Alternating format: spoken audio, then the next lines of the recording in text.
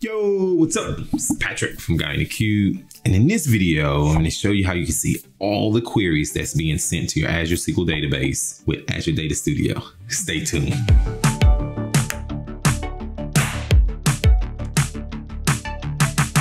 If you find this for the very first time, be sure to hit that subscribe button to stay up to date from all the videos from both Adam and this guy. All right, trying to figure out what queries this application is sending to your Azure SQL database. You want to monitor that, you know, and there's lots of ways you can do that. But in this video, I'm going to focus on my new favorite tool, Azure Data Studio. In the previous video, I showed you how you can install the admin pack. Well, one of the features in the admin pack is the profiler. In this video, I want to show you how to use it. All right. So you all know how I like to do. Instead of all this talking, let's do what? Let's head over to my laptop. So I've installed Azure Data Studio and I've installed the admin pack extension. And now I'm connected to an Azure SQL database. Let's say I have a bunch of developers out there using Management Studio. And what I'd like to do is see all of the queries that are being sent. So I'm going to right click on a server, launch profiler. You get this window, and right now there's just a standard Azure template, and then you can give it a name. I'm going to accept the default, click start. So now the trace, the profile is running,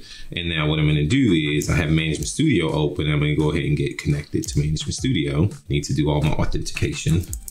And now you can already see some things happening in the profile. So I'm gonna just keep this, this guy right here. So you can see things happening. I'm gonna expand the databases and then expand my database and you can see more things happening. And what I'm gonna do is start a new query. So I'm gonna right click on the database and choose not new database, new query. And so a new query window will open and then you see more stuff coming through. And then what I'm gonna do is write a simple query. Select star from dim currency. And then I'm gonna run that query. Now, lots and lots and lots of queries have come through. And so what I'm gonna do now is I have two choices at the top. I could stop and pause. If I stop this and restart it, it's gonna clear out all my data. That's not what I want. If you pause it and resume it, it maintains your data. If you explicitly wanna clear the data out, just click clear data. So now I got all this stuff that's been running. I could have waited to start to trace until I've run my query. Sure, I could have, but you know, maybe you didn't. And now you have all this information and you know that select is in here. And if you go all the way to the bottom, you can see that there's a event class column and it's the batch started and batch completed. But that's the only two queries I want to see. And now I want to resume this trace and only see the queries that are coming through. I want to get rid of all this noise. How can I do that?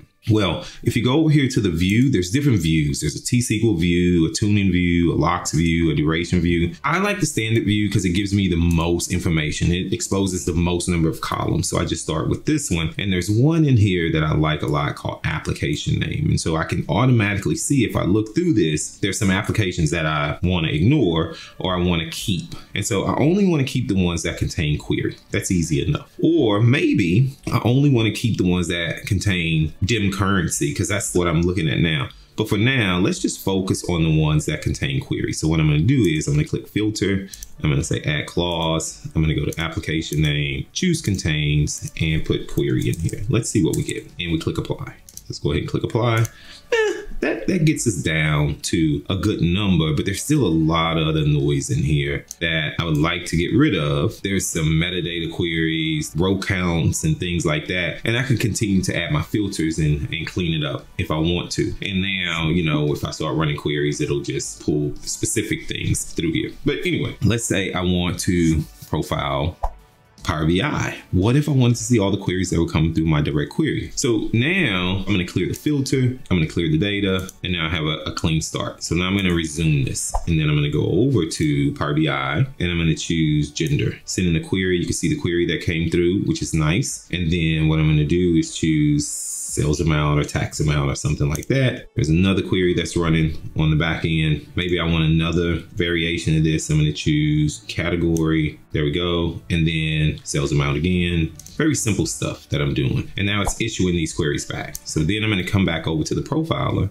pause this. Now I have all these queries and I only care about the ones that are actual queries that were sent for Power BI. I can't use the application name. It's really difficult. But there's two particular event classes that show the queries, the start and the completed. Exact same thing, but the only one I really care about is the one that contains the duration because I'm gonna go do some optimizations, okay? So now back in the filter, what I'm gonna do is add this event class. I'm gonna choose contains, and then what I'm gonna do is say batch underscore completed. And I'm gonna choose apply, and click OK. And now I only see the four queries. This one is when I just drug gender on by itself. This is when it actually had to go and build a table for gender and the aggregation on sales amount. This is the one when I drug category by itself. And this is the one where I actually did the aggregation. And then if you scroll across, you can see there's other columns. I can see who ran the query, the process ID, the SPID, the amount of CPU, the reads, but more importantly, the duration. And we all know direct query takes a little time. So Patrick, you need to go do some optimizations on your SQL database to speed this up, or maybe you just import it. I don't know. Anyway,